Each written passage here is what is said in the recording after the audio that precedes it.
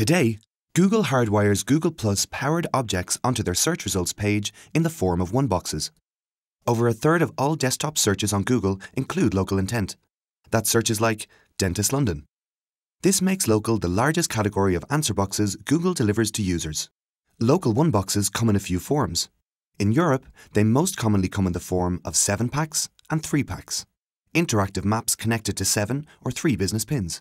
Not long after the United States Federal Trade Commission decided to settle its antitrust investigation against Google, they rolled out a new object called the carousel, which now appears for most local business searches when you have a US IP address. According to Google, using Google Plus to power these objects is better for users because they directly answer the user's query. But by using the Google Plus ecosystem to power these answers, Google disregards the third party ecosystem of local reviews.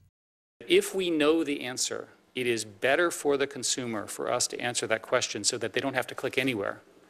And in that sense, we tend to use data sources that are our own because we can't engineer it any other way. Is it possible to power the Google Plus local objects using Google's relevance algorithm?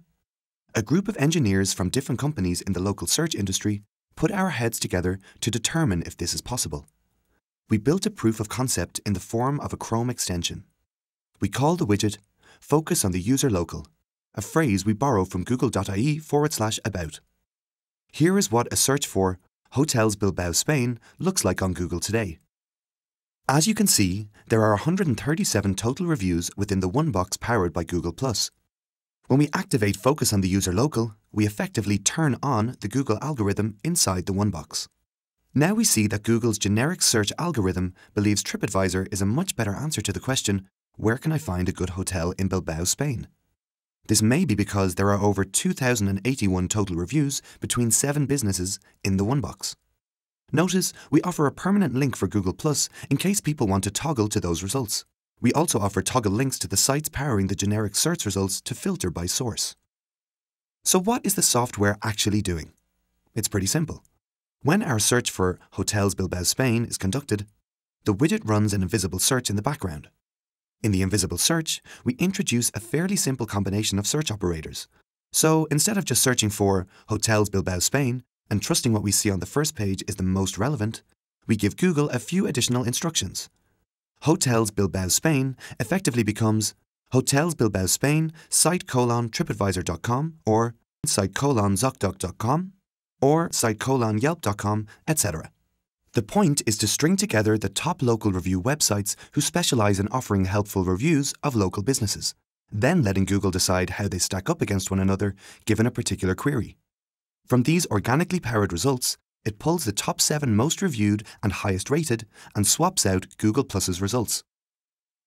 Focus on the user local includes dozens of the top local review websites in the world, but one of the most important domains we include in this string of sites is the location of Google's own proprietary ecosystem, Google Plus Local. That ensures every search done by Focus on the User Local includes plus.google.com as a candidate for relevant results. It does not bias toward or away from any particular site. It just asks Google.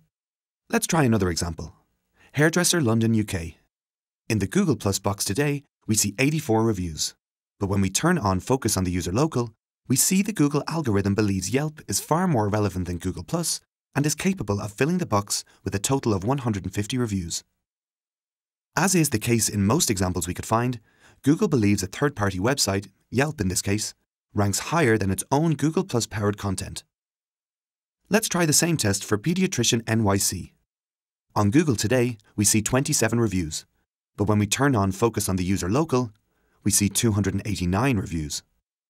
If you were taking care of a sick child in New York City, which results would you prefer? The hardwired results from Google Plus or the results preferred by Google's own algorithm?